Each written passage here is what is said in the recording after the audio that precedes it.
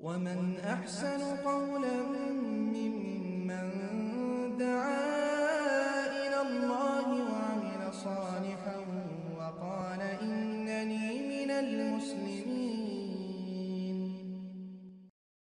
আসসালামু আলাইকুম রহমতুল্লাহ বরকাত বিসমিল্লাহ আলহামদুলিল্লাহ ওসালাত ওসালাম আল্লাহ রাসুলিল্লাহ আম্মা বাদ সম্মানিত দিনী ভাই ও বোনেরা আজকের সংক্ষিপ্ত আলোচনার বিষয় হচ্ছে প্রচলিত বাংলাদেশের মধ্যে যারা সালাফি মানহাজ বা আহলে হাদিস বা কোরআন, সহি সুন্নার আলোকে যারা নিজেদেরকে সহি আকিদা ভিত্তিক জীবনযাপন করেন বলে দাবি করেন, তারা এবং হানাফি মাঝহাবের অনুসারী যারা আছে, তাদের মধ্যে বিয়ে জায়জ হবে কিনা? সম্মানিত দিনী ভাই, এই বিষয়টা বর্তমান সময়ের মধ্যে অনেক বড় একটা বিষয়। এক সময়ের মধ্যে এগুলা এই প্রশ্নটা আসতো না। বর্তমানে যেহেতু চর্চা চলতেছে, বিভিন্ন ধরনের গবেষণা চলতেছে, যার কারণে এই প্রশ্নগুলো আসাই স্বাভাবিক। তো সংক্ষেপে আমি এখানে কয়েকটা কথা বলব। ওমা তৌফিক বিল্লাহ। বিয়ের ক্ষেত্রে একটা বিষয় খেয়াল রাখতে হবে। আল্লাহ তালার পক্ষ থেকে বিধান। কোনো মোশেক শিরকে আকবর যারা করে, সরাসরি মূর্তি পূজক তাদের সাথে বিয়ে জায়েজ নাই।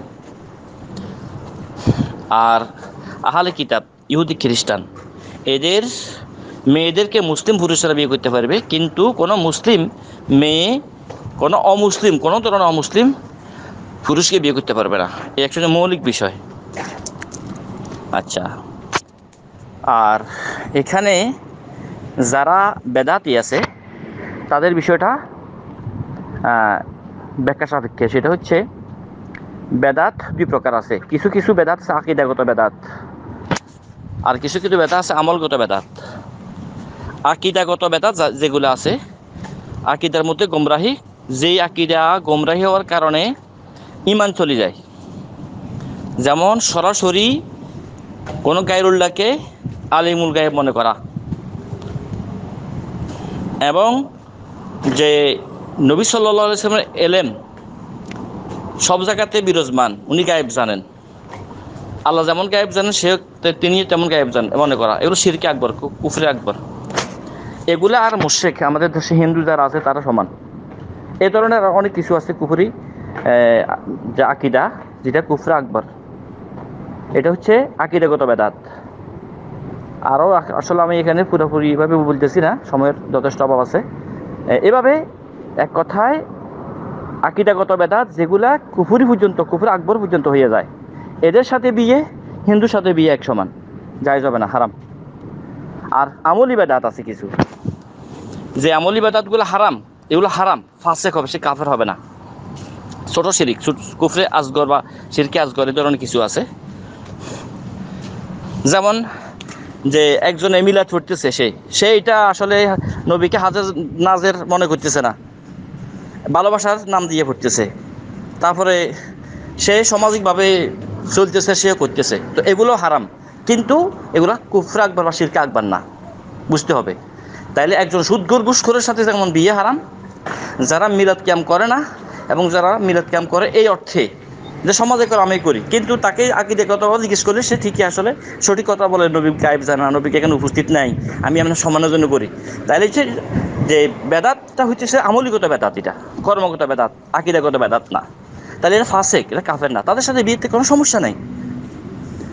এভাবে হানাফি আহলে হাদিস, বাদশাহের মাঝাব কোনো ব্যবধান নাই কোরআন সুনার আলোকে। আমরা ব্যবধান করছি আমরা যারা আসলে অজ্ঞ, আমরা অন্ধভক্ত অন্ধভক্ত কোনো পক্ষেরই এটা ঠিক না। অন্ধভক্ত হওয়া কোথাও ঠিক না। যা, যে, কোনো অন্ধভক্ত মাঝাবের ব্যাপারে হোক বা গায়ের মাঝাবের ব্যাপারে হোক, অন্ধভক্তি কোথাও ঠিক না।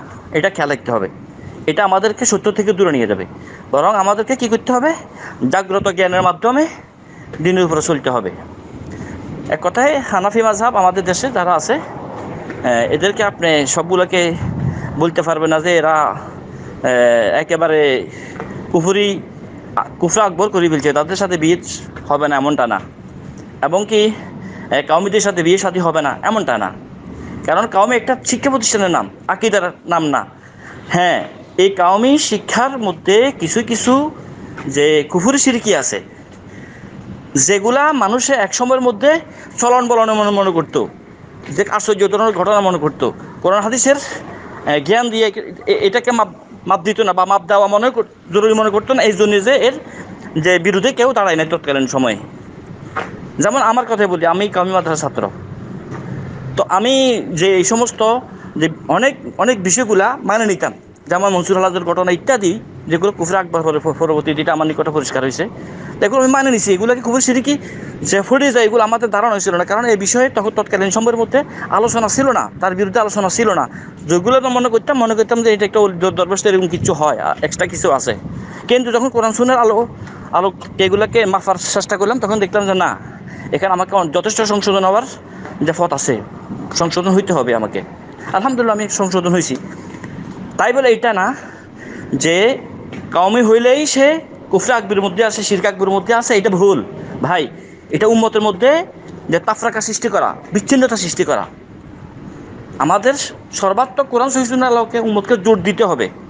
হ্যাঁ যার যেখানে দুর্বলতা আছে, সেখানে আমরা কোরআন সুন্নার মাধ্যমে তাকে আমরা যে প্রতিবাদ করব নসিহতের বাসায়। ঝগড়া বা বিতর্ক বা খারাপ আচরণের মাধ্যমে নয়। যাক, এ বিষয়ে দায়ীদের গুণ কী কেমন হওয়া উচিত, এ বিষয়ের আমার আলাদা বয়স আছে? সুযোগ সুবিধা থাকলে আপনারা ইউটিউব থেকে দেখতে পারবেন। তো এখানে আমি যে কথাটা বলতেছি এখন, সেটা হচ্ছে যে কাউমি হানাফি আহলে আদি সহিয়া আকিদা, এদের বিয়ে হবে না। কোন কে আলেম ফত কোন আলেম ফতোয়া দিছে? একজন সহিয়া আকিদার আলমের একটা ফটো আমাকে দেখান। বাংলাদেশের মধ্যে বিজ্ঞ বিজ্ঞ যারা ডক্টর আছেন, এদের মধ্যে কমিউনিটির মধ্যে বিয়ে হবে না। এটা কোথায় কোথায় পাচ্ছেন আপনারা? এত কম সংকীর্ণ মনের অধিকারী কেন হবেন? ইসলাম তো এটা না। হ্যাঁ আপনি যখন কোথাও দেখবেন যে কুফুর আকবর শিবকে আকবর পাওয়া গেছে, কুফুর আকবর পাওয়া গেছে হ্যাঁ? মনে করেন মনসুর হালাদের ঘটনা বলেন বা সুরমনের হিসাবের ঘটনা বলেন বা এতে বই পুস্তকের মধ্যে অনেকগুলো কুফুর আকবরের ঘটনা আছে।